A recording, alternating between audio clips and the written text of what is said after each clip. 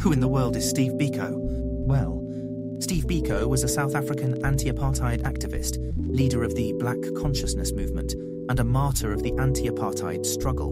Born in the Eastern Cape province in 1946, Biko grew up in a deeply segregated society and became involved in the anti apartheid struggle while studying medicine at the University of Natal. Biko's activism centered on his Black Consciousness Movement, which argued that black South Africans should be proud of their African heritage and fight for their own self determination. He was a prominent voice in the struggle against apartheid, organising protests, student strikes, and campaigns against the government's oppressive policies.